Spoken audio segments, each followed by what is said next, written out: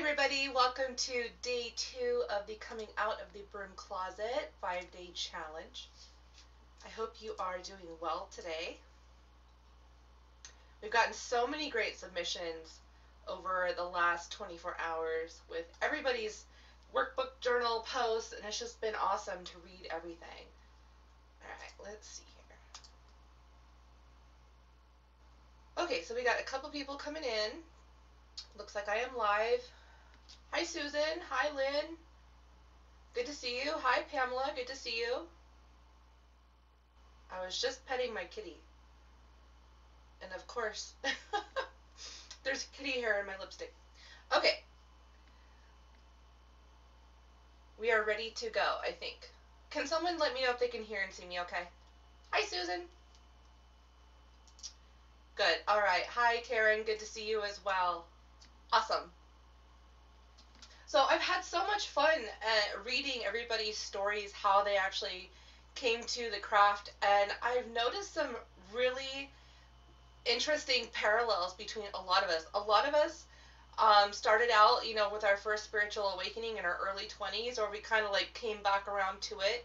It's something that a lot of us knew in the beginning, but we didn't have a word or a way to actually express what it is that we were what we were feeling on the inside. So that's something I noticed through a lot of people. Yes, you are here live. Hi, Karen. Hi, Pamela. I just saw that you went live. I'm gonna listen to your watch and listen to your video after we're done here today. Hi, Marissa. Awesome webinars this week. Oh my gosh, I've been enjoying Marissa's. Marissa, put a link down. Um, this is this is Kupo he doesn't make an appearance very often because he's very, very, very shy. He's very, very, very shy. Hi, Freya. Yes. So, uh, Marissa, if you would put a link down in the, in the comment section to your group. Marissa's doing a webinar series this week. It's really awesome. It's about changing our relationships to certain stimulants like coffee, um, tobacco, uh, tea, and some other ones too. It's been very interesting so far. I've been really enjoying it. Susan says, I see a kitty cat. yes, that's Kupo. He's um, Kupo the brave because he's not very brave. His sister is the one that's got the um, half, she's half orange tabby and half black kitty, and then she's got like calico spots and things like that. All right, looks like everybody's here. Good to see everybody today. Happy Tuesday. I'm so excited to be here with you. Everybody had so much fun with the quizzes too. So, just to clarify a couple of things. So, the quizzes weren't mandatory. That quiz that I gave you for the, your element of power, that was just something fun. Hi Tammy, I can see you too. Good to see you. It was just something for fun. And it was really interesting to see kind of how everybody related to what actually the quiz kind of spit out and I just designed it to just be a fun exercise, just something interesting and fun to do, right? Um, and I thought it was really interesting that Happy Ostara, Happy Ostara, first day of spring, it's so exciting, right? And I just thought it would be interesting to put it together and just kind of set it out and see how people actually reacted to that because one of the core foundations of witchcraft is working with the elements and a lot of people actually took it to an astrological level. I'm sorry, I'm so itchy because I was just playing with the kitties. I'm sorry, I don't mean to be like scratching my face. Um, okay, so what am I saying? Oh yeah, so the elements in witchcraft are it's one of the ways that we express witchcraft is working with the elements, and a lot of people took it to an astrological place, which is awesome. I think that's really cool. It was not something that I actually intended, and let me tell you why. So in witchcraft, actually the elements are kind of their own individual powers. And we work with actually all of the elements and we express the elements in different ways. Now in astrology, yes, um, you know, there are certain elements that go with certain signs and things like that. It's its own system in itself. But witchcraft is also its own system. And within the elements, they express through you in certain ways. So some of the things that I was seeing was that a lot of people were really, um, you know, gravitated towards certain types of answers that were based off of also certain types of astrological occurrences and significances as well. Like, for example, um, you know, earth based people are naturally, if you have a lot of earth in your astrological chart, you're going to be drawn. Oh no, is the stream not okay? Okay, let me know if it's okay now. But, so people are going to be drawn to certain things that are uh, expressed in their astrological chart. But, in witchcraft, each of the powers are kind of their own certain, you know, element in, in and of themselves. And we work with them individually, but also we work with them in many different ways. And what I thought was really interesting is that the people that weren't actually aligned with whatever spit the quiz spit out at them, in my opinion, that could be a couple different things. First of all, it could be that there is uh, an element that is maybe missing from your life. So if you drew a whole bunch of, um, you know, you drew water and maybe you don't have a lot of water in your chart or maybe you have a lot of water overall in your chart, there seems to be two different things. Seems to be either people didn't, they try to associate it with their sun signs and things like that, which does work, but doesn't always work, right? So in my opinion, what that kind of meant was that there was an element missing from your life. So if you drew a lot of water, for instance, then perhaps maybe you need some fire to kind of balance out that water. So, or if you drew like air, maybe you need some earth because maybe you need to make those thoughts more tangible, bring it down to the physical in the physical reality on the earth plane. Okay?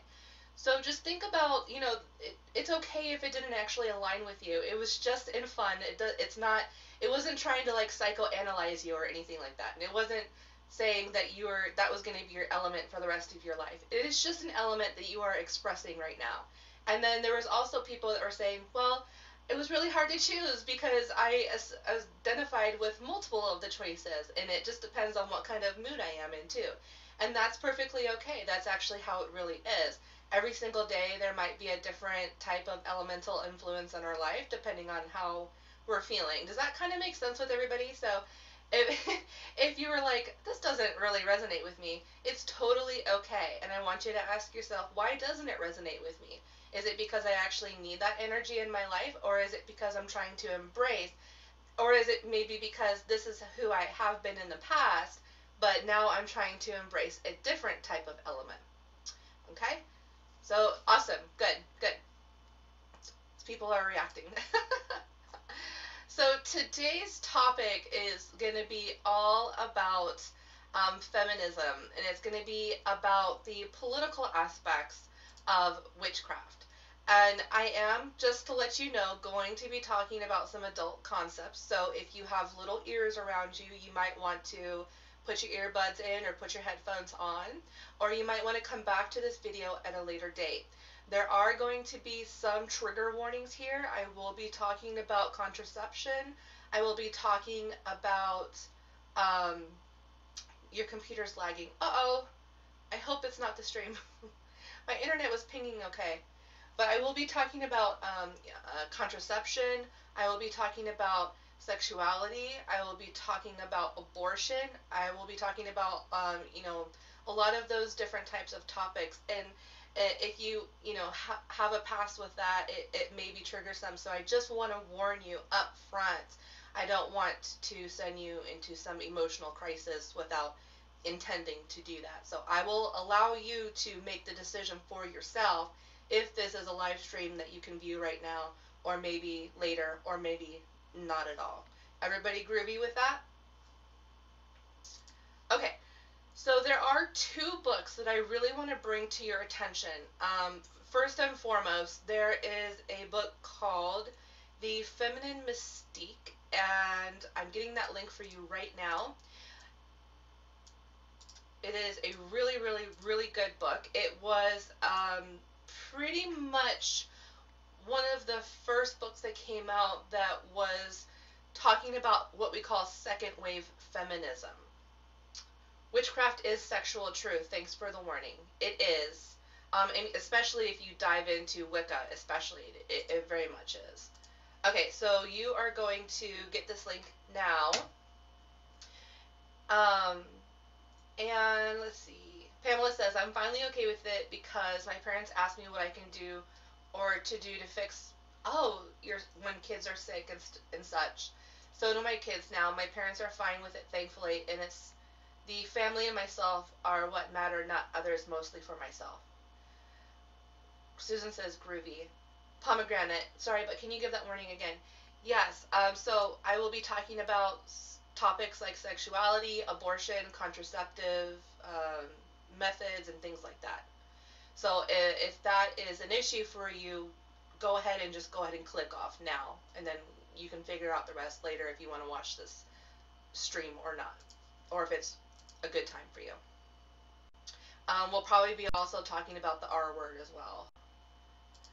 Okay, so there's this book that came out. It's called the the Feminine Mystique, and it it was written by an American woman, and it was all about basically the plight of the uh, women women in America during like the after the first wave of feminism. For the so the first wave of feminism in America was in the late 1800s, and this is where women were um, out there uh, trying to protest and get rights for women to vote to be included in the political arena and to also seek education.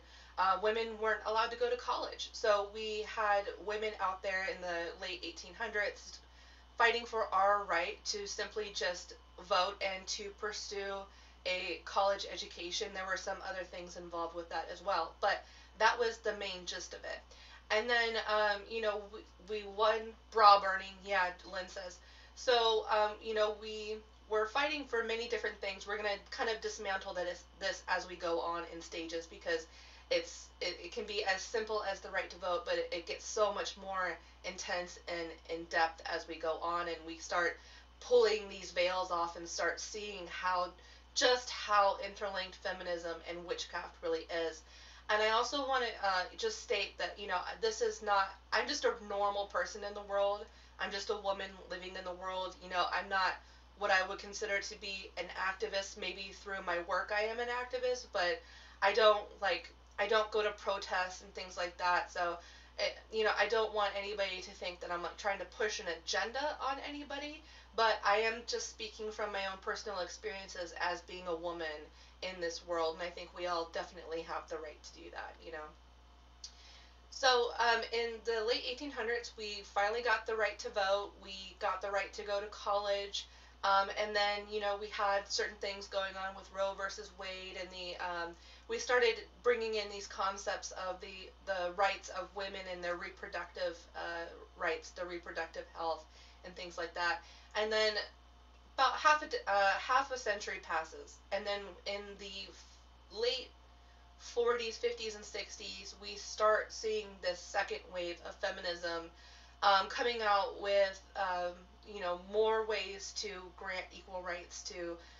At the time, it was really just about women. It, it and originally, it wasn't so much about like personal cultural diversity, which is kind of like where we're at right now um, with the protests and uh, the identity of feminism right now and modern culture.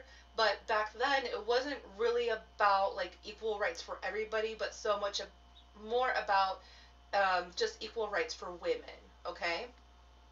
Pamela says, I don't go either. I like to look at both sides. I'm very much the same way. I, I kind of like to just make my own decisions and then, you know, I, I choose to do my work in different ways, and it, that's totally okay too. And we're going to talk about that.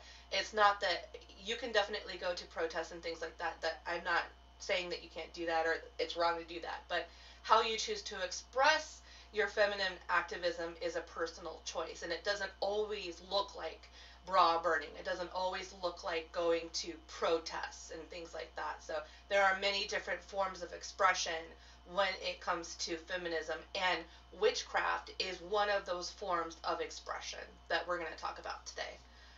Okay, so this book was written in um, the 1960s, I believe, and it was written by a woman who was kind of just mulling over the plight of, you know, the American women at the time, who really, um, you know, they there was a lot of advancement made. We could vote, we could go to college, and some women, um, especially during the uh, First and Second World Wars, we were getting jobs in factories and we were getting out of the house and we were building um, uh, you know like working on airplanes and and doing administrative type of work um, specifically to help um, the the getting rid of the um, uh, Nazi Germany and things like that you know? So we did end up going to work during that period of time but after the war was over um, women who had first kind of gotten that first taste of what it's like to have something other than just being at home and just being responsible for children and procreation and the cooking and the cleaning. Um, you know, a lot of women were disgruntled after the Second World War um, around the 1940s into the 1950s. Rachel says, First wave, I want to do my own thing at home. Let me vote still. Second wave, let me keep my job after the boys come home from the war. Basically, yeah, what I'm talking about. Third way, let me do what I want with my body. Uh huh. And fourth way, let me identify as a woman, be my own body's boss, and the choice to be home or go to work is mine. Yeah. And even more now, fourth wave, fifth wave feminism, where we're kind of at right now, is also um, inclusive of other marginalized people. We're talking about minorities, immigrants, black people, Hispanic people, Asian people, especially um, uh, disabled people. So the umbrella is definitely widening as we continue on, and there's always going to be some sort of social justice thing to fight for. Always. There's always going to be people who are taken advantage of, people who are exploited. So it, our work, and sadly, is really never done. I hope that I see in the future when I'm 80 or 90 years old. Hopefully, I make it that long. But I hope to see when I'm 80, you know, um, that we don't have to uh, fight for any certain singular type of marginalized person. That would be the dream come true, wouldn't it? But, you know, I don't know. I can't really say that. Look at how much we've changed and how much we've influenced over the last 125 years, especially in America, you know. But uh, in our, you know, our country, in, in what we call Western civilization, this is Europe, North America, you know, the places that we consider not to be so much like a third world country. Um, unfortunately, we still have a long way to go. There are still other countries that are still burning witches. There are still other countries that are still doing forced female castration and sterilization and things like that. So it's, it, I mean, this is going to go on pretty much for probably the next thousand years, is probably my assumption, trying to get the world up to speed, you know. Rachel says, okay, hold on, there's some good comments here. Pamela says, I think the bra burning might have been a bit too far. Plus, on the other hand, I would rather wear a bra as much as I hate them. Yeah, and so, okay, so here's the thing with the whole bra burning thing. It's not necessarily that women necessarily really want to burn their bras. What it is, is it's a display. It's an aggressive display. And sometimes for um, for social social justice, sometimes we have to take our displays to the extreme for people to notice and to get attention. So it's not necessarily like women all women want to burn their bras who identify as feminist, but it's more so about just getting the shock value and gaining that attention and gaining that traction. Marissa says feminine means feminism means everyone. Yeah, Marissa, it was always that way for the real radical feminists. Yes. Rachel says, exactly, because the problem with the second wave uh, was it was during the civil rights movement. Yes. Uh huh. And women of color had to choose do I stand with my husband and my brother? Yes. And they also had to choose do I identify first as a black, uh, as an African American person, or do I identify first as a woman? And that was definitely one of the the difficulties of uniting people at that period of time during a time of still having racial segregation and things like that that were um, doing nothing but perpetuating and manipulating um, you know social justice causes and further that uh, the devising um, yeah getting people like separating people Pomegranate says, toxic masculinity harms men and women alike. We need to restore the balance.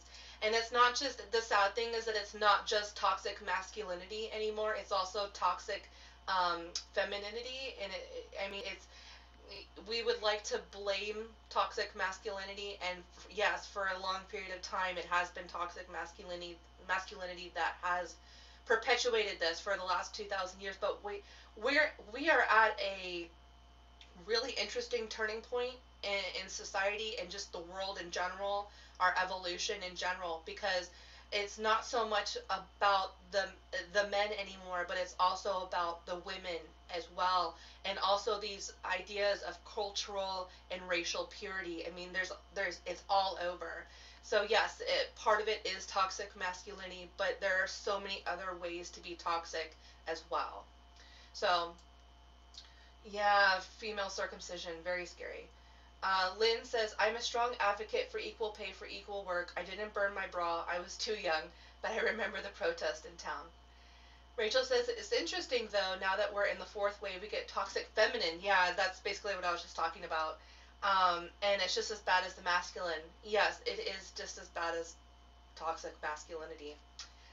Catherine says, I don't need a bra, I'm too little. Well, late, honey, that is your choice, right? And that's what it's all about.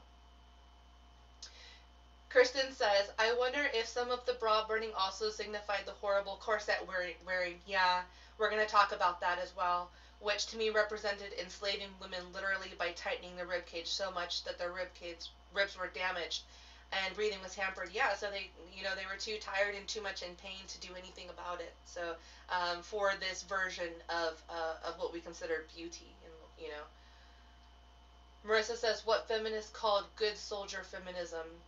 Yeah, so I, you know, and I'm not saying, I'm definitely not saying that just because someone identifies as a feminist or a witch that they're automatically a good person or that they use their power for good. But I think it's more just understanding what the underlying, uh, you know, beliefs and causes for feminism are, and then using that power for good because we do, we're not like we're not just fighting toxic masculinity anymore. We're we're also fighting women who are also toxic as well. So there's so many different um, pivot points in which that we are fighting against. So we need people who identify in multiple different ways so that we can get the whole of the movement, uh, you know, much more advanced because because what they're doing, um, you know, what it's really doing is it's spreading us out and working uh, horizontally you know, instead of working from the bottom and working up. So it's just a way to kind of keep women, especially, and um, LGBT, um, and anybody who identifies any as anything other than heterosexual and white and male. Um, it's just basically keeping people busy and, and causing infighting and wasting time and you know allowing the powers that are in, uh, allowing the people that are in power right now to just continue to further their own agenda. So it's crazy. It is crazy. Rachel says, eh, that's if you follow the empire period of corsets. The years before were just flying. It's like the extremist version of racism, sexism. That's the big costume history issue. Yeah, and we'll talk about the um, you know the choice to wear a corset, the choice not to wear a corset, and we're going to talk about that kind of thing. Um, it, I'm definitely not a bra burning feminist in that, or you know, corset burning in that I don't think any woman should wear a bra or corset. Absolutely, I think that you should always do what you want to do and you can express yourself however you want to express yourself. The problem then comes in when you're tr- when people are trying to control other people and are trying to give almost these ultimatums to say if you wear a corset then you are anti-women and I just don't believe that at all. That's not in my heart at all. Freya says, I wonder also if this is where it comes beauty as pain. Beauty has always been painful no matter what. I mean, just look at the geishas. Just look look into geisha history and you want to talk about pain just to look beautiful. Um, but it's all kind of relative too. Rachel says men wore corsets as well. They did. Um, yes, they did. Pamela says, "Thank God you brought that up. I didn't know there was a word for it about women." Yes, and you know every woman's gonna have their own uh, beliefs and values in the world that is coming from themselves and their free thinking, their free thought, but also coming from you know culture and religion and things like that too. So it's a very very sticky subject, which is why we we should talk about it, even if we're not experts in it, even if what we feel or say isn't necessarily politically correct, because I think if we can just open the dialogue and just just talk about how we're feeling. Just talk about how we feel about things and share our experiences. I think that can only do nothing but good. Rachel says, I love corsets and I look good in them. I have a German steel bone corset in my bedroom. So, you know, I have these things as well. Now, the question therein lies, am I why am I buying these things? Am I buying these things because I feel that I won't be feminine without them? Or am I buying these things because it is a way for me to express my femininity that I that I personally feel is attractive, right? Susan says, yeah, when people try to tell someone to behave a certain way or wear a certain thing, that's when I start getting a headache from the depths of Hades. Right. Kristen says, if you had to wear a corset every day so tight it was painful, I don't think you would think so. Right, and it's all about choice. It's all about coming back to choice. Do I choose to wear this or is this something forced upon me? Christine says, I love my corset, great for back pain, and if I'm standing for a long time, it really energizes me. Yeah, I mean, it's, and it's not about something being good or bad, and I think that's what we really want to talk about today is that it's not that certain expressions of femininity is necessarily bad or good, but again, coming back, is it your choice to do this or is it not your choice to do this? Is this being forced upon you? That's where the real, I think, injustice lies. Karen says, or are you buying it because then you want to get crazy at the Ren Fest? Yes. Also go to Ren Fest. So. Rachel says, Castarti, am I saying that right? Was an issue. So we have a balance of all kinds of oppression. We do. We do. And I, I think that, you know, no matter what we feel and believe and what our beliefs are, I think we can all kind of agree that it co- always comes back down to choice, right? Because uh, you know, I don't want this to become a uh, a divisive topic. Topic. I really just want this to be a uniting topic, and of course, it starts with the conversation. So everybody's doing great so far, but I know I know that this can this type of conversation can trigger people and bring up some unresolved things and it can make you question things about yourself that you do and it can bring up feelings of resentment and guilt and shame or it can even bring up uh, you know feelings of pride and, and joy as well so we are on a huge spectrum right now just having this conversation Rachel says when they made young boys eunuchs so they had high pitched feminine voices castrati. Castrati. Okay. I'll have to look into that. I'm not sure exactly what that all entails. If you want to post something in the group, that would be totally cool too. I'm very much interested in just about everything. So read this book. Anyways, read this book. Um, it, it first came out uh, around the 1960s, and it just kind of talks about some of the struggles that women had. And then there's another really good book that I want you to check out. Um, as if you can buy these from Amazon, definitely do that, and you know, give money to the people who wrote these books. Are in well, they're probably not alive still. I'd have to look, but if they aren't alive, usually the money goes to the family. So if you can, um, you know, afford to buy the books yourself and have the books and read them, definitely do that. But there are um, places online where you can get these books for free, and basically what you type in is um, uh, Drawing Down the Moon PDF and try to find a link to download it, and The Feminine Mystique. So, leading me into the next book that I would really love for you to check out. Charlene, Charlene actually brought this up yesterday, and I was like, ah, must be reading my mind. It must be psychic because I was going to talk about this book. Drawing Down the Moon is a very um, important book, I think, to witches because it it does go into the initial um, you know, new age type of witchcraft that was brought over from Europe to America in, in the 1900s, uh, early late 1800s, early 1900s. And this book is really uh, different and unique in, in and of itself because it is not necess- it is a book on magic, but it's not necessarily a book just on magic. It actually comes from a uh, sociological type of standpoint. So not only does it mix um, magic, but it also mixes politics as well. And this was one of the first kind of public releases of connecting feminine, uh, femininity, feminism, and magic, and also political activism as well. And if you haven't had a chance, I'm not going to go too much into the history of feminism and witchcraft.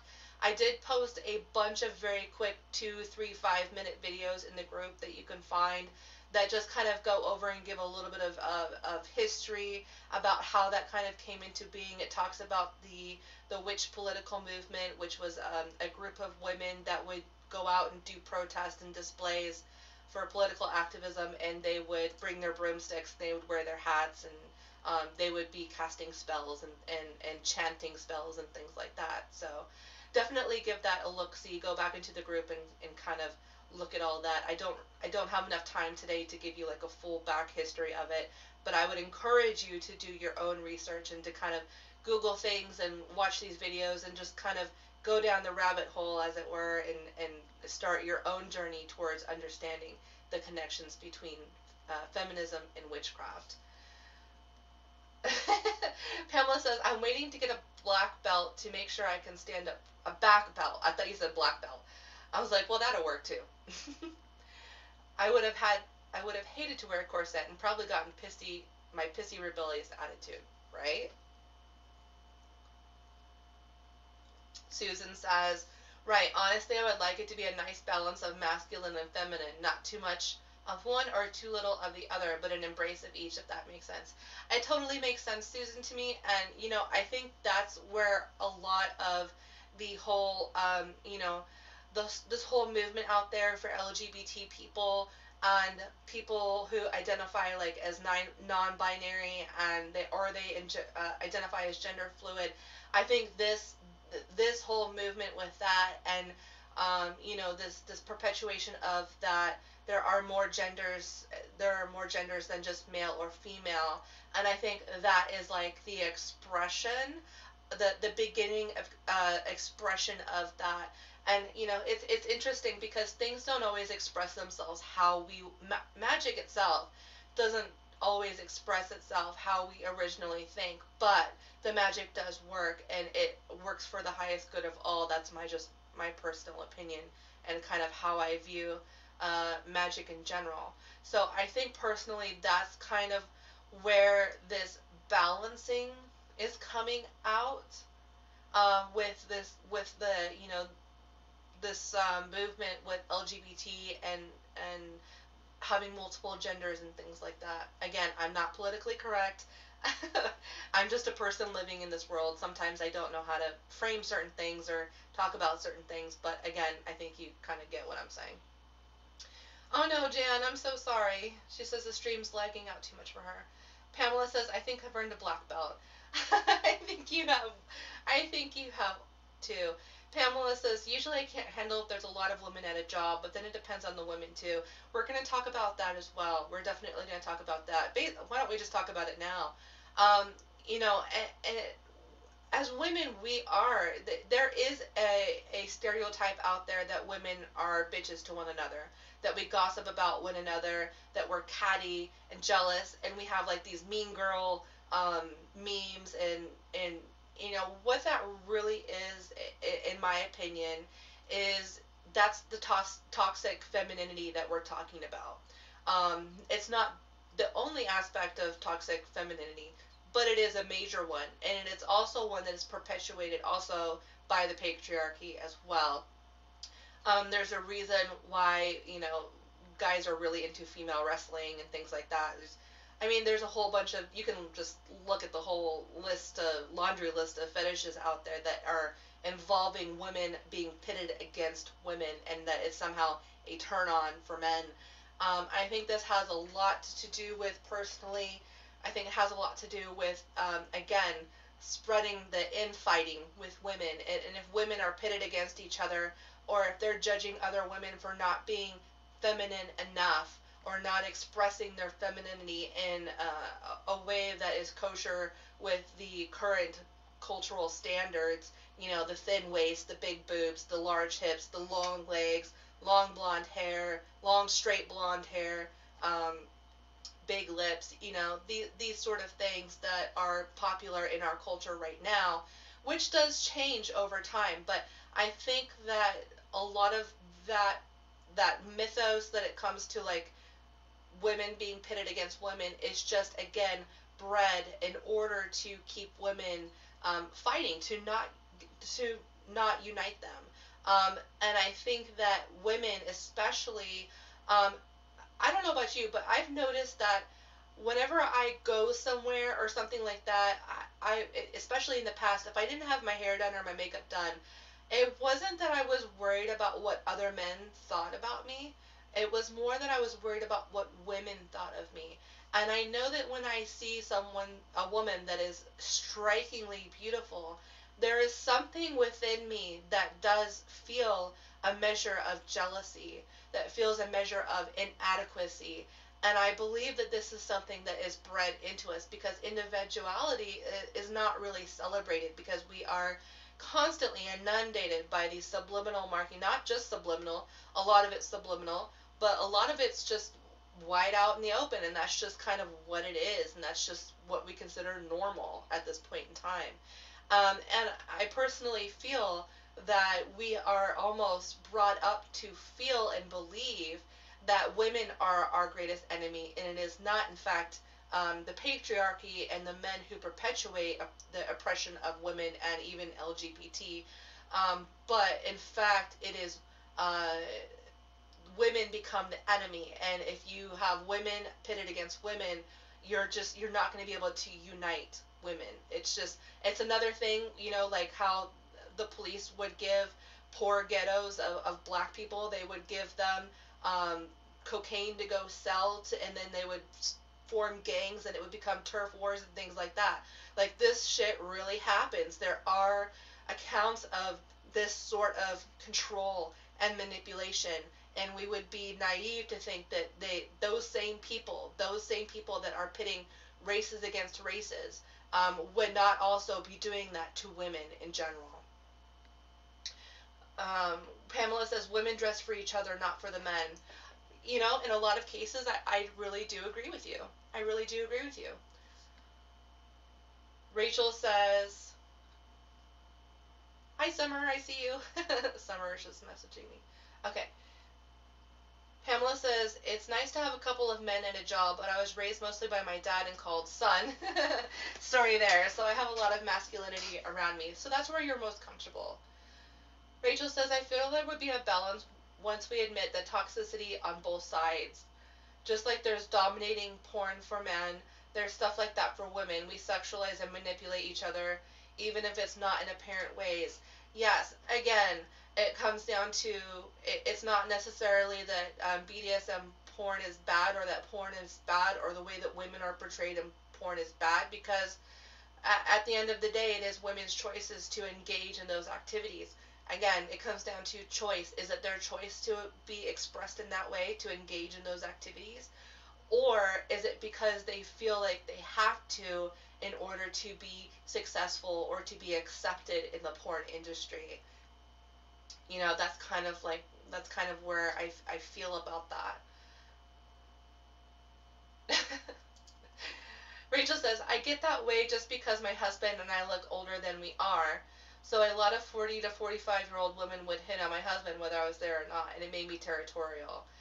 Yeah, I mean there is a there is definitely a subsect of women, um, and we as women also have to learn how to um, understand when someone is simply being friendly versus being um, manipulative. I mean, there are definitely women out there who love to date married men, um, and they like to be homewreckers for some reason, and um, they enjoy that. But there's also a subset of women who are manipulated by men into these relationships, and you know, the the men will tell, and men and women. It's not just it's not just men. It's men and women who will tell their um, their side partners that oh we're not sleeping together anymore or we're not living together anymore or you know um, we're just not emotionally connected or we're getting a divorce soon or you know there is the perpetuation of that as well and i think it's important for women especially but everyone in general to kind of be able to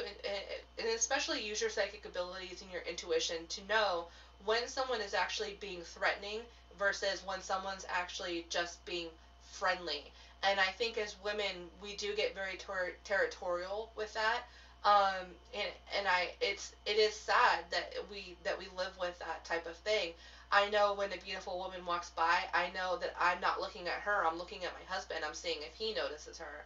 And for a long time, I would get annoyed when um, my husband would notice another woman that um, was society's um, version of what is considered beautiful. Um, especially for me, it would be thin women because I am not a thin woman. I am a, I'm a large woman, um, and so I got and so this bothered me for a long time. But I finally um, I got to the point where I asked myself, does this actually cause a problem in my relationship? Am I just as guilty for noticing her beauty? Can I appreciate this woman's beauty with my husband without feeling jealous or territorial? And I really had to work on that for a long time. And I still get I still get a little bit of a feeling in the pit of my stomach, but I know that my attitude towards that woman is more to do with my insecurities than anything to do with my husband at all. And I know that by seeing this woman as an ally, if she's not if she's not doing anything that is actually harming me, why can't I appreciate her beauty? You know what I mean? Why can't I see her as an ally? Trigger warning in my next statement. Okay, we'll get to that. Karen says, I feel a jealousy at first, but then I want to be friends with the beautiful ladies. Me too. Me too. I think you're right that it is programmed into us to be jealous. It is, because, um, you know, it, it, it truly is. Are there men and women out there who do cheat and things like that? Yes. But um, are there men and women out there who are faithful and don't do that kind of thing? Yes. So it's like, okay, are we going to attract the people that are on the same, you know, wavelength as us, or are we going to feed into the victimhood of that? Because no matter what, I mean, that's just how it is. At least right now and where we are in our evolution. Susan says, mm-hmm, women pitted against women for sure. Had a few instances, unpleasant instances of that crap, and let me tell you, it screws up your mind, and it really freaking sucks. Yeah, it, it does. Pamela says, we women should be building each other up. Yes. Pamela says, most of the time for the dressing, right. Tammy says, trigger warning by the way, I have been judged by other women due to the fact that I chose to keep my child that was a result of a date rape and then having to put her up for adoption. We're going to talk about that too. Thank you for sharing that. Rachel says, and that is your choice, Tammy. Sending you all the hugs. Right. Hi, Kai. Good to see you. Tammy says, thank you, Rachel. I get that. Yeah, so, um, gosh, this is such a good, good stream. Okay, so I gave you the two books. I'm trying to keep myself on track here, so I don't, so we don't turn into a five-hour stream. Um, but for the most part, um, I think what I really want to talk about today is there was a lot of women who did not identify with the word witch, okay, um, or did, didn't know how they felt about the word witch, or weren't comfortable using the word witch. And I totally understand that because it is a very loaded word. It has a lot of energy behind it, both good and bad energy. It has a lot of ancestral history behind it.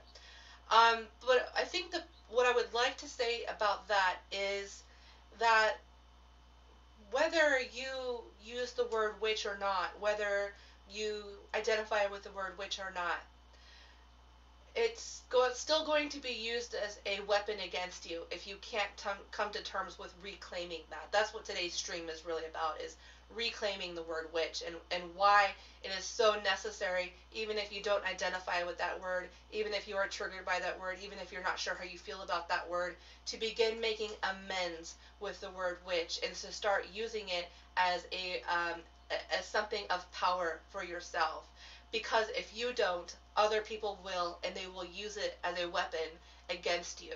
So whether you you practice magic or anything like that, basically, if you are a sexually liberated woman, if you are an independent woman, if you are someone who doesn't get married, if you choose to not have children, if you grow your own herbs, if you uh, take care of your own your own body's medicine and things like that, society, there are people out there in the world, evil people who will call you a witch, who will lump you into that, that umbrella category, and who will persecute you for it. So you have a choice. Do you take this word? Do you bring it into your being? Do you express it in whatever way that you choose to express it? Or do you allow it to be used against you for persecution? And I think it's really important to just think about that for a minute. Whether you agree with the word or whether you don't, people out there are going to use it against you. So you have the choice. You can use it for yourself or you can allow it to be used against you. Rachel says there's a play I really recommend that has witchcraft tones in it. It's called Mitzi's Abortion. It's very powerful. Definitely might make you cry, but it gives a difference between the masculine and feminine ideals of birth. Right now to the midwife chanting with herbs and everything. Karen says, I'm a witch. I'm a witch. I'm an ordinary witch. Pam says, I think of myself as Pam. Rachel says, I recommend the vagina monologues as well. She reclaims the word cunt just like to reclaim the word witch. Yeah, I mean, they're to, to a subsect of, of patriarchal males and um, the people in power. I am what you call a fat feminist witch bitch cunt who, um, you know, should probably just go kill herself and to stop breeding and to stop breathing. Um, there are people out there in the world that believe that. Um, so you know, you have to understand that this is what you're up against, and you have to reclaim it in whatever way, the word witch, whatever way that feels comfortable for you. But if you don't, people are going to vouch for burning you, stoning you, drowning you, locking you up, committing you to insane asylums, which happened as well. So, Kai says, I love that witch involves being an independent feminist. I'm on board with that a thousand percent. Pomegranate says, I'm still not sure if I identify with the word witch, but I'm still figuring that out and that's fine. The more weird stuff happens, the more comfortable I become with it. Pamela says, I used to call myself witch because, or was more polite than saying bitch. yeah, um, pretty much. Um, and that just kind of goes with that whole misogyny thing where um, if, if you are a woman that says no, you're automatically a bitch because you're not obedient. We're going to talk about that too. Yeah, see you next Tuesday. Susie says we have a code for the word C-U-N-T at, at work. It stands for see you next Tuesday. So when we say goodbye to someone at work, we say see you next Tuesday. yeah. yeah. Um, you know, and I think it's interesting this conversation we had in the group yesterday about um, you know, labels, and a, a lot of it was about, well, I don't want to be, I don't want to label myself. I don't, I don't want to be a label. And I totally understand that labels can be claustrophobic. I understand that they can be confining. But um, again, you you can either adopt those labels for yourself and use them as a source of your power and your identity, or you can allow them to be used against you as a weapon. I think it's really interesting. And also labels are, are you know, I think a lot of people think that they're going to be forever confined into one label or that if they choose a label that they're automatically going to be that for the rest of their lives. And that's not the case either. Labels are a lot like roles and they're a lot like um, these extremes of roles that we play out in our lives in, in order to find out more about ourselves and to discover how we really feel about certain things. And sometimes when we are trying to find something out, we take it to the extreme with a label, or we identify with a label, which usually comes with a community, which is a big part of having labels is communal identification, right? Um, and so that's just simply not the case. You can always change your label. You can have many labels, or you can have no labels. But labels are helpful um, in terms of giving context, and also they're helpful in terms of do you allow other people to give you those labels uh, in, in such a way that it is meant to shame you or to harm you or to make you feel bad about yourself or to keep you from living your life or showing up in your business and just generally being a person who exists in the world who is not oppressed, right? So labels can definitely be helpful, but I do understand why certain people maybe don't like labels and it's not that I would say you need to re-examine your identity to a, a label itself, but maybe think about labels in terms of spells themselves and ways that we can harness specific archetypes and energies to, um, you know, further our own agenda of equal rights and just simply existing in the world without being oppressed, you know. Freya says, I'm a proud witch raising little witchlings. Pamela says, a lot of light workers in health jobs, yep. Tammy says, I just came out in my day job, mental health, as a light worker. Awesome. Pamela says, I'm wondering if you guys are more mean in the US than up here, and we aren't always that nice up here in Canada like everybody thinks. I think so. I think, um, especially American women are definitely a, a unique breed. Um, I definitely feel privileged to be an American woman who is definitely is an ally for people um, all over the world. I think there is a, a specific tenacity tenacity to um, American women that is unique to our culture.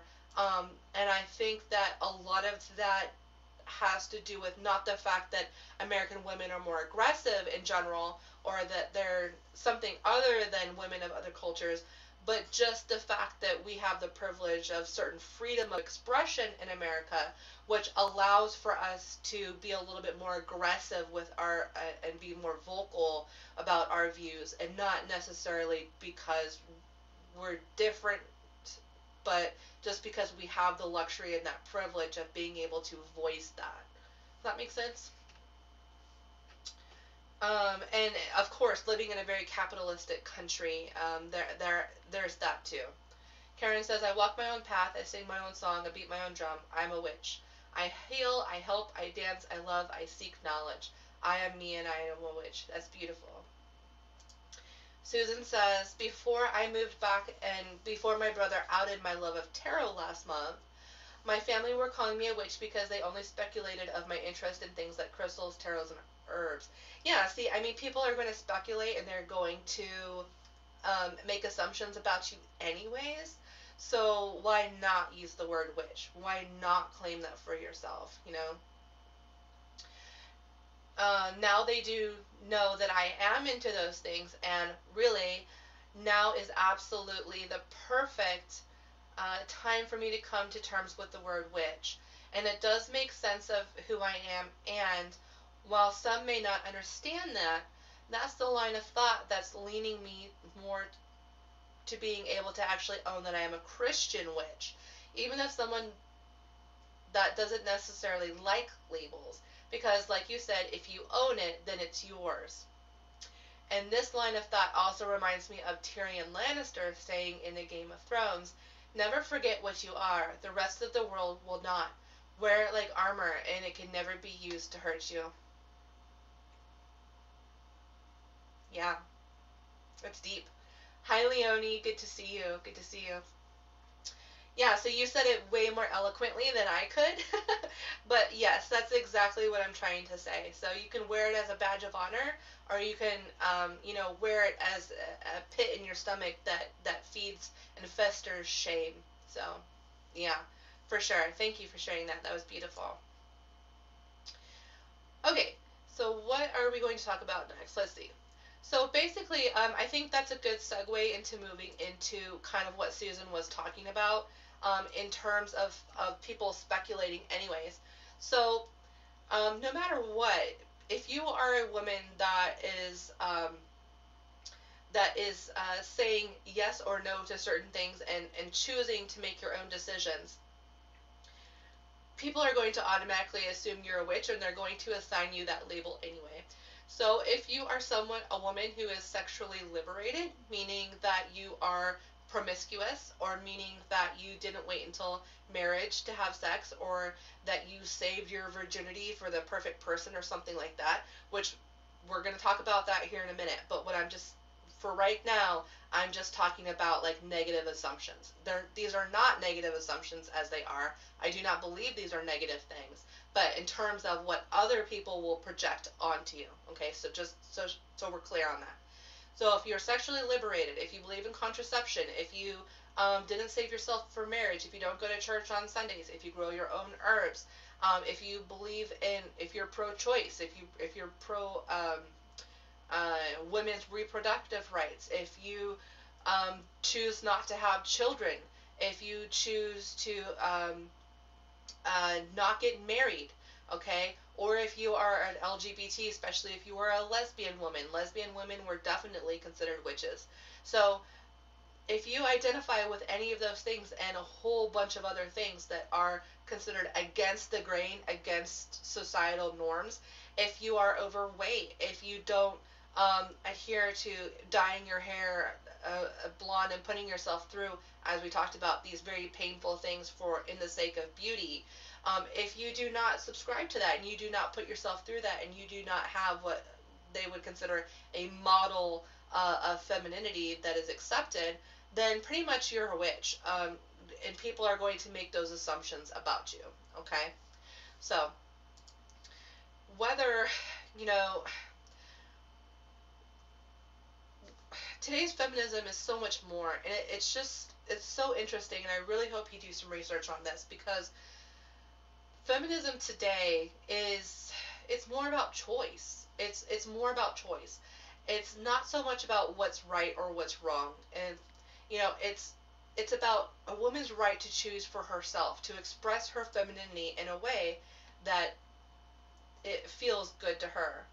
Susan says, I like to write words. it's obvious. Kai says, I'm a witch then. Yeah. And it feels good to, and it feels good to her and she's not um, she's not fearful that her life will be taken from her. She's not fearful that, that her neighbors are going to get their pitchforks and torches out and drag her ass to a stake and set her on fire. Okay, so we, you know, it's like in today's world, especially in the Western world, the civilized world, you know, it's it's so much that we take for granted. I think, um, but there's still women in other countries that are being burned. There's still women that are being killed, and there's there's so much negativity out there that I just I don't think people realize that this stuff is really going on. Um, and I think that a lot of, especially American women, I think are reluctant to get on the feminism bandwagon just because their life, let's just face it, I mean, their life is pretty darn good right now. They don't really, they're not really persecuted or, or anything right now. Um, now, I'm talking about specifically, you know, like white women in America, in, in, in terms of religious freedom and, of course, you know, ethnic uh, freedom and, and the, the civil rights and things like that. That is its own unique thing, but women in general, like let's let's drop the cultural, let's drop the ethnic type of thing for a second. Let's just talk about women in general. Women in general, um, you know, their their life is pretty good. It's not perfect. I mean, we still have to deal with, um, like for example, uh, women's health care is one of the big, big, big things right now. Um, the women's right to choose, choosing abortion or choosing pro-life and um, or not to have an abortion. Um, choosing to have a hysterectomy is, a big one, um, and getting our doctors to take us seriously is also a big one too. So let me know in the comment section if you've ever had a, uh, dealt with that, if you've dealt with doctors who um, were, if you felt intuitively that they weren't listening to you or taking you seriously because you were female, because you just happen to have a female body. I think it's it's very common. But in terms of like you know right to vote, um, what whatever we want to wear. There is a rape culture and things like that, but I think in terms of where we were, you know, just half a century ago, it's a lot better now than where it was. And I think that especially American women um, have grown complacent in that. I, I think they've grown content in that for, for a really long time now, for maybe the last, you know, like 20, 30 years or so and it can be when your when your life is pretty darn good and you're and you're not in fear of your life every single day in your neighborhood and you're not uh, in fear that you're going to be ostracized from your community, which basically meant death. I mean, uh, back with our ancestors, you had to be part of a community, otherwise you were basically on your own to fend for yourself. Good luck hunting your own food and good luck um, building your own shelter and things like that, you know. So we still carry these ancestral fears, but I think that a lot of women who are reluctant to get get good with feminism. Um, I think that they just haven't had enough adversity in their life, honestly. Um, I think that their eyes are just kind of shut to all of the, the negativity that goes along in the world, um, all of the evil that's still out there that still needs to be addressed. Pamela says, yes, and finally they clue in or have different symptoms of heart attacks. Yeah. Tammy says, fought for three years for a hysterectomy at 27. Yes, um, you know, when I go to my gynecologist, I have PCOS and um, basically I'm infertile uh, at this point because I'm on medications to make me so, so that I don't have such bad PCOS symptoms. But it doesn't matter. Every single time I go into the doctor's office and I ask them about I'm doing a partial hysterectomy to have my ovaries removed, the first question is, "Well, you're still." He goes, "You're still young." I'm like, "Yeah." so, he's like, "Have you talked to your husband about this?" And the first couple of times he did that, and the last, the second to the last time, I really had to have a conversation with him. I said, "Look, I don't, I really just don't appreciate being asked about this. Please document it in my file that I asked about a hysterectomy and that I have uh, said that I am not interested in having children." And I think at that point he got the clue. Now, last time that I went to the gynecologist and he talked to me, he did. It was like at the very last minute he finally said something to the effect of, um, you know, I would prefer not to do a hysterectomy at your age because you're still, I'm just, I'm 30. Um, I would prefer not to have a hysterectomy at your age and blah blah blah.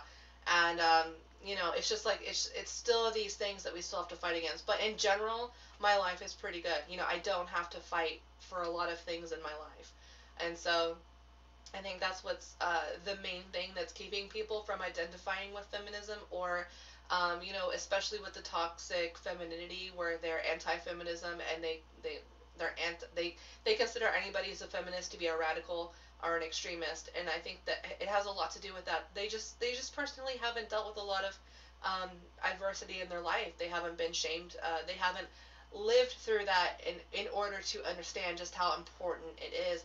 And I know for a fact that once we get complacent in it, it's even more um, it's even it becomes even more vulnerable because if if people if women all over the world uh, if the women in the United States let's say decided to stop doing protests decided to stop you know speaking out and being vocal about feminism in general um, you know it, it would be easier to just just forget about it and then you know these attacks they kind of sneak up on us. So it's just one of those things where there are levels to like how involved you are and, and how involved you aren't.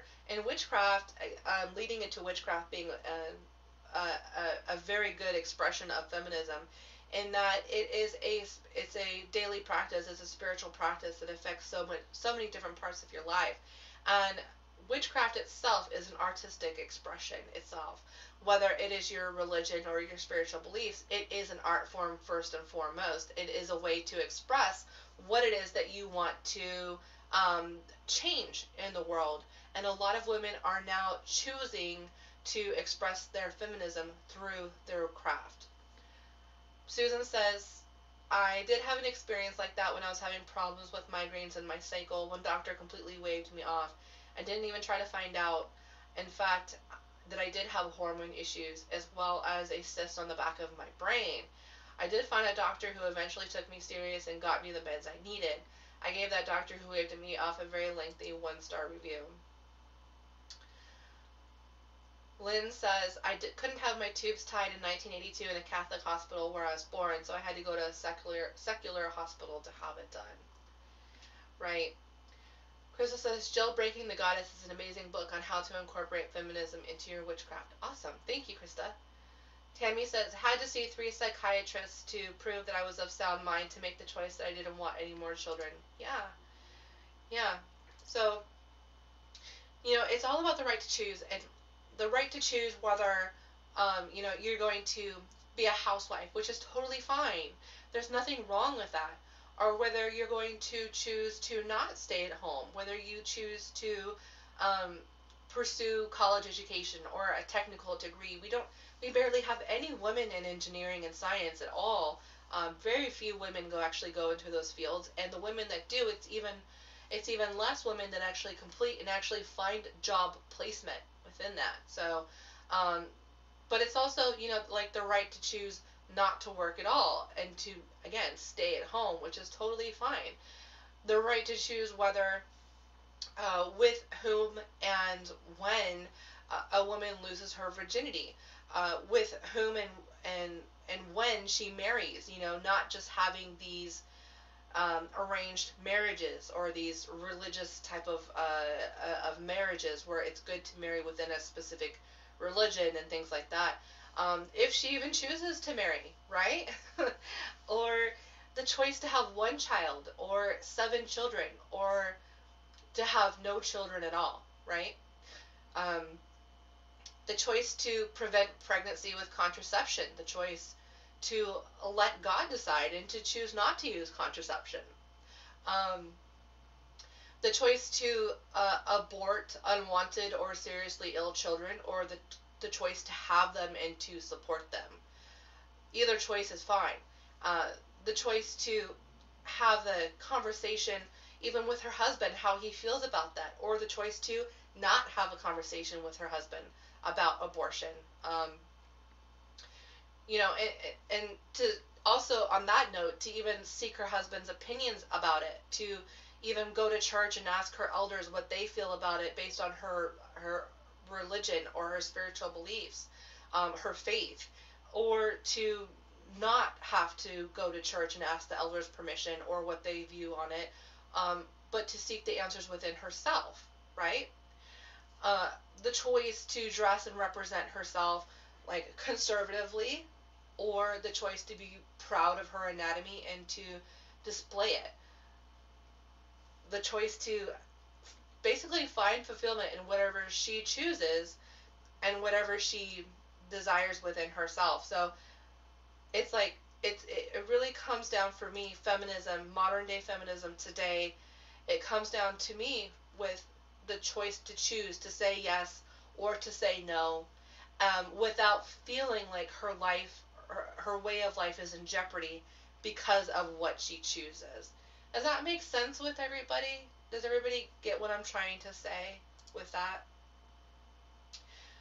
Pamela says, I chose to stay at home. Yeah, a lot of women do. Krista says, only you know what's right for you. Absolutely. Pamela says, I also had trouble after having my first ones and then twins. Oh, your babies. Yeah. So, it's just important that we recognize that when we're trying to police, especially other women, um, and trying, let's let's just make a pact right now. Um, let's not shame other women for their life choices. Let's not look at other women who maybe stay home or find pleasure in cooking and cleaning or find pleasure in being with their children all the time or find pleasure in making their husbands happy and, and or find pleasure in being single and not being tied down to a relationship or not choosing to have children or and not choosing to get married or you know let's just stop um, shaming other women especially let's let's stop doing that because it's only going to keep us kind of where we are right now and not really further our progression Okay, says best live stream ever. I love this.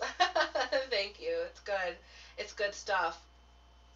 I tend not to be a very vocal person about my like my political beliefs. I tend not to be a very vocal person about my lifestyle and things like that. Um, I, choose personally. It's not. There's nothing wrong if you do. We all we need as many activists for as we can. But I I personally have chosen somehow I've chosen the life path of expressing it through my work um, and, and helping women, especially, and helping women.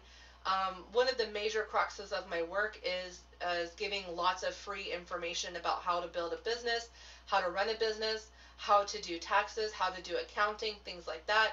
Uh, and, and, really, that's where my activism lies. Is it lies within giving women the power, the tools, um, to be self-sufficient, to to start their own businesses if they want to, so they're not relying on their husbands. And so they can stay at home with their children and work at the same time. Or they can be a housewife during the day and a psychic on the hotlines at night. And so so we're getting rid of these I have to choose one or the other. Um, and it's more about just for me giving women the tools to decide for themselves what they want in their own life. And if they want to run a business and they want to make money and they want to influence um, people in the world and they want to help other women and other men, I want to give women the tools to do that. And that's literally why I get up every single day. I mean, that's what gets me out of bed is knowing that it, regardless of the money, regardless of, you know, getting certain things done like trainings and courses and things like that, I always go back to that core mission, which is helping other women. And we need more women like this in the world. We need more women. So it's like if I if I can inspire you to go out and help five women, then I consider that to be a good a good day. You know, um, that's just kind of how I feel about it. Um, Tammy says, um, oh wait, Pamela says I'm paying the financial price of staying home, but the kids are now nowadays can't afford to go or stay home with the kids. That's absolutely true. I mean, we have that type of thing going on as well. Susan says, I'm absolutely on board with the pact. You know, I take dad to doctor appointments. I actually had the secretaries both getting up on me and telling me I needed to hurry up and give my dad some grandkids. I was absolutely mortified and stunned by that. Yeah. Yeah. That is also a thing that happens. Tammy says, I live by you, make the best choice for you. If it affects my life, then I will say something. Pomegranate says, Susie, I'm, Susan, I'm sorry you had that happen to you. That's disgusting. And you know, it, it, it, they the women think that they're actually being cute, and they think that they're being funny, and they think that they are. It's again perpetuating this abuse in terms that that it's like it perpetuates abuse and and normalizes it it normalizes it.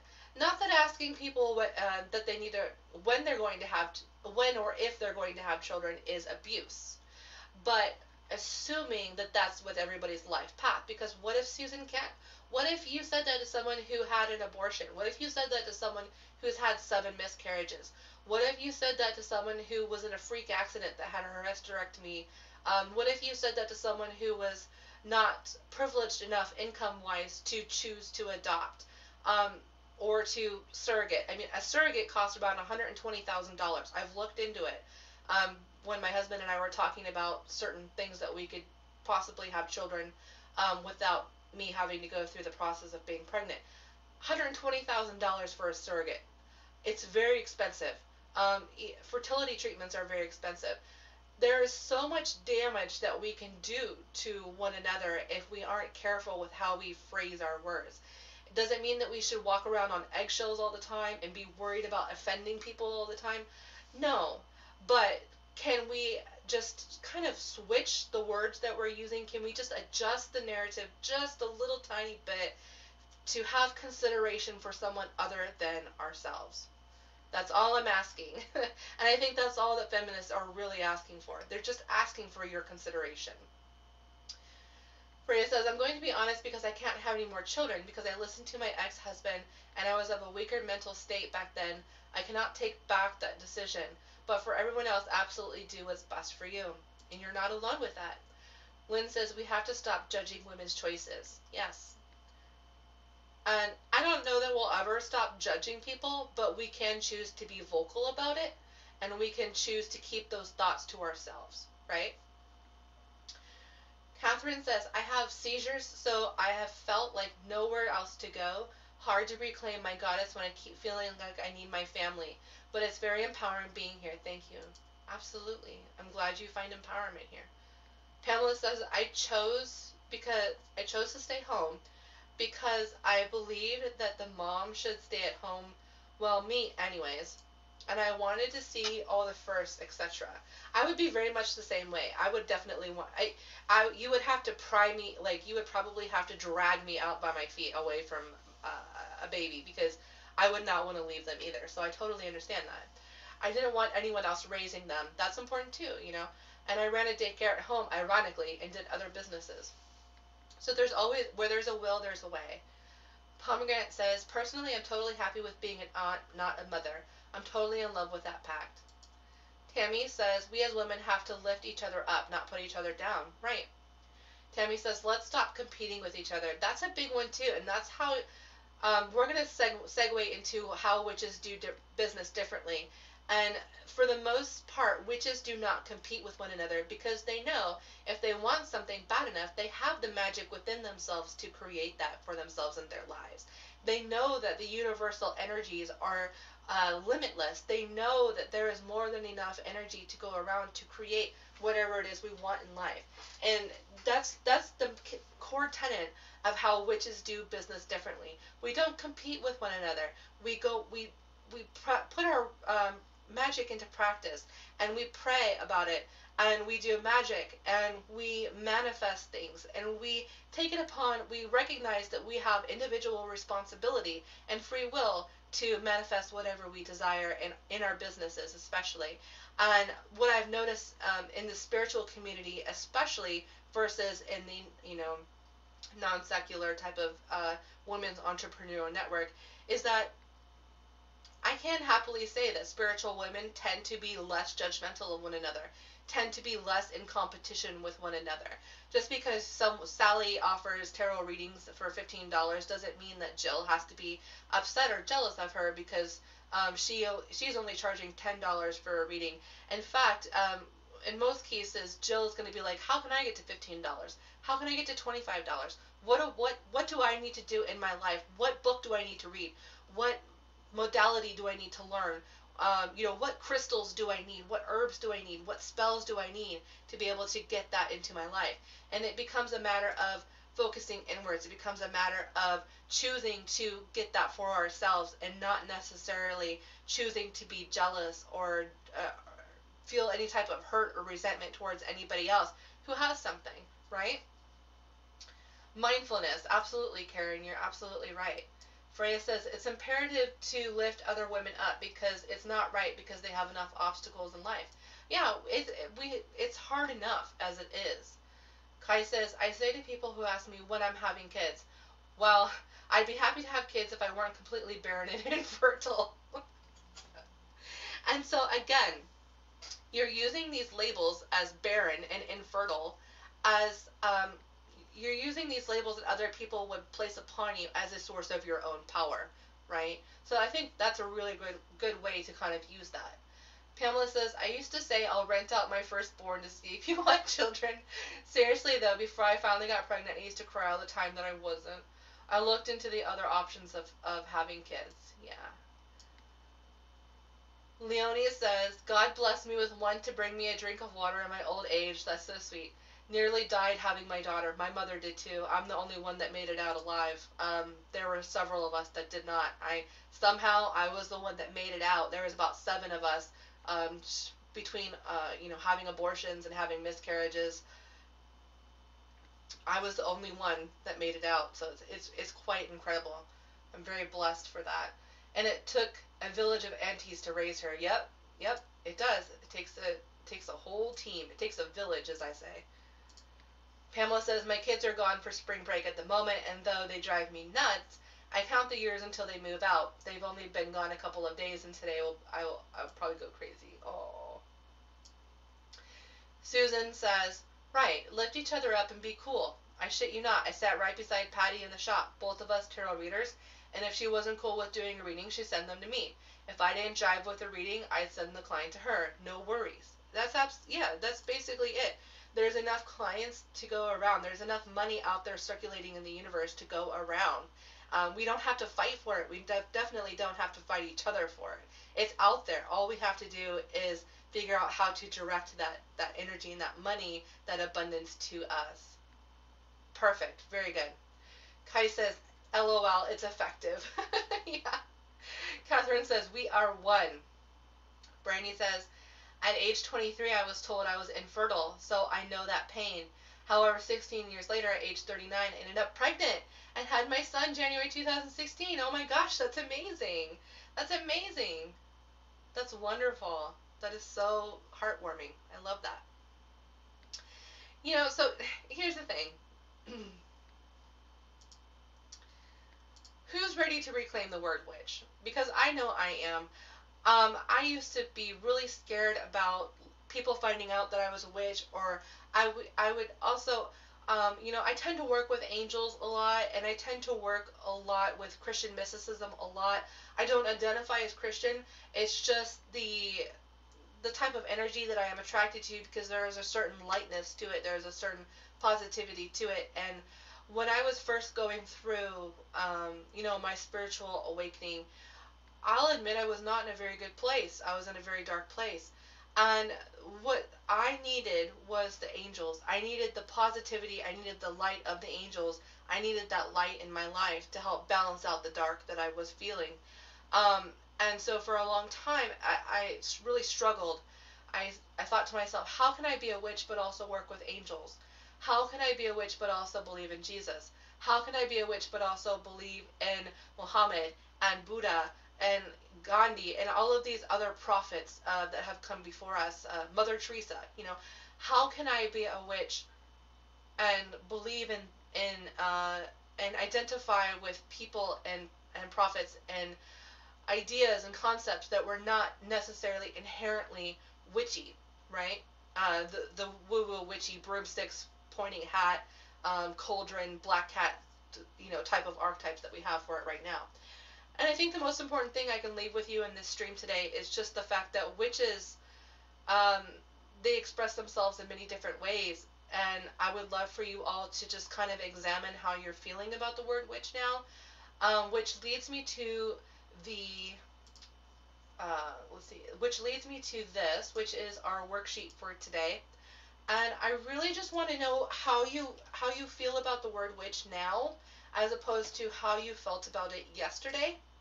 I would really love for you to um, tell me a little bit about how perhaps your ideas about the word witch and identifying with the word witch has changed, perhaps, or has shifted. Um, do you feel more comfortable? And it's okay if you can't, like, you know, go out and your front door and scream out, I'm a witch. It's okay if you can't do that. But I want to know how you feel. Has the word changed um, its energy at all for you? Are you tapping into new nuances of the word witch? Are you seeing it now possibly as a source of power?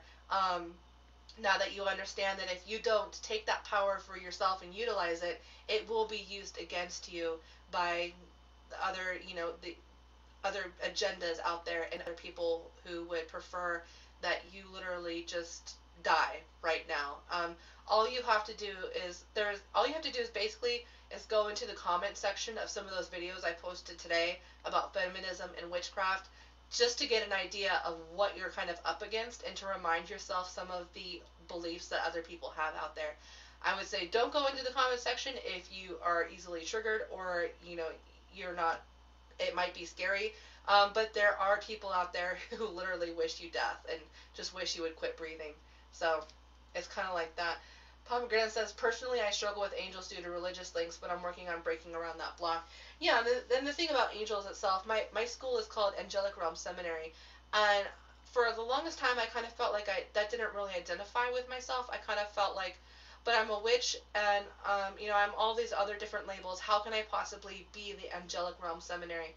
And I do believe in retribution. I do believe in you know, hexing and cursing, and I do believe um, and all of these things that are seemingly unangelic.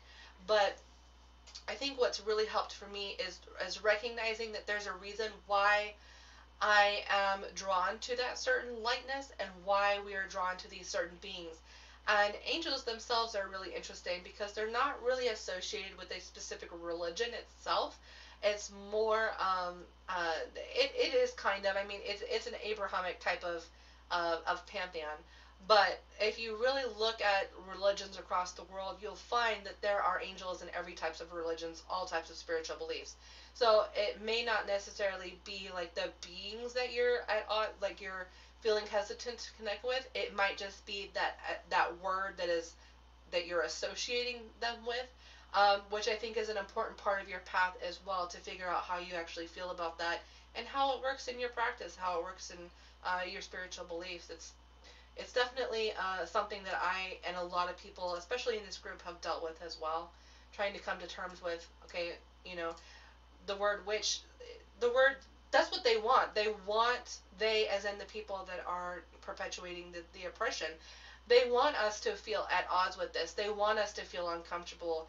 And if we can say, you know what, I'm going to examine this, I'm going to see what this really has for me, and I'm going to make my own decisions, and I'm not going to try to um, you know, identify with a certain sect or label in an extreme version where it's giving me an ultimatum in my life, but instead looking at it in terms of like okay this is what i'm really interested in and can i can i work with these and can i come to terms with that myself? And that's just definitely a personal thing.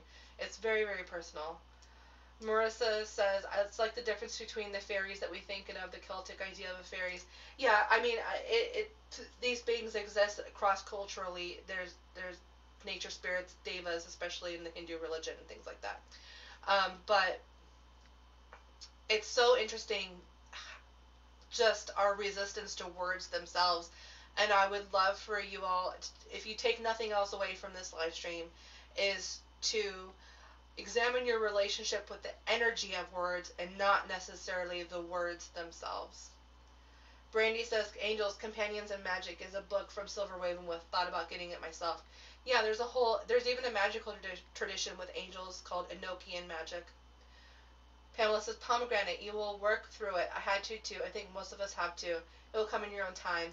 Yeah, and you have to ask yourself. Um, a lot of it is is what am I losing by identifying with this, okay? Because we are communal beings and we do things because uh, we want to, to know our place in the community, right? In most cases, because we are ingrained with the idea ancestrally that if we are not part of a community, that pretty much means that we are going to starve and die of uh, cold in the wilderness. So, a lot of coming to terms with certain words has has more to do with what we feel that we're going to lose um, by identifying with certain words. And I think it's just really interesting to think about that and understand that it's not so much about the words themselves, but what we um, misguidedly kind of feel that we are sacrificing by aligning with certain words, the energy of certain words. Yeah. Okay, awesome live stream. Um, tomorrow we are going to talk about uh, returning to service. Okay, so this is how returning to service is how we can deal with those complex feelings. Um, if, and that's one thing that's been really helpful for me is while I'm dealing with these complex feelings, while I'm dealing with this hesitancy or the, the unknowing of how I really feel or how identifying with the word witch would actually play out in my life and all these these sort of things what I found was most beneficial for me was to simply return to service and to simply help people because eh, the rest will sort of work itself out. Does that make sense? So, sure, you can go in and you can kind of identify with these labels and these words and things like that, and it can stay in your headspace and your upper chakras, and it can stay the theory for you, and it can stay philosophy and theology for you. But until you actually get out there and get on the ground and start expressing your activism in whichever way, shape, or form you do. Whether you do tarot readings for people to help people, whether you do Reiki healing to help people, um, whether you're a life coach and you, are helping people get their lives together and things like that, and trying to help lead them to what it is that they really want in life. you the way you feel about certain words and certain labels and certain sects of, of, of this whole spirituality community will shift and change once you actually start gaining some experience within it. It will be a totally new way to, uh, you know, redefine your relationship with with these things. You are very welcome. Yes. Okay, so I will see everybody tomorrow. Make sure you fill out the worksheet journal prompts um, by tomorrow's stream. So some people were asking me, okay, well, what is the 24 hour period? So just make sure that your journal prompts are in before the next day's stream and I have a running tally. I have an Excel sheet that has everybody's name on it and has the days of the week and I'm just slowly tallying everybody together. Okay? Thank you so much for joining me. I will see you tomorrow.